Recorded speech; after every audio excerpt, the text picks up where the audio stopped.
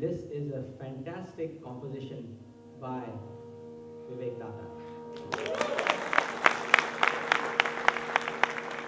It is a very difficult composition in a very difficult tal.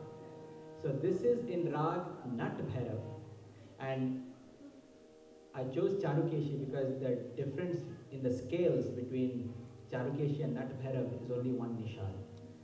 Charukeshi has a Komal nishad, Nat Bhairav has a Shuddha nishad, everything else remains the same.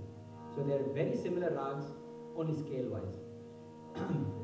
so this composition, it defies a genre, I think, is in Rag Nat Bhairav and is in Ada Chautal, which consists of 14 beats and 14 very complex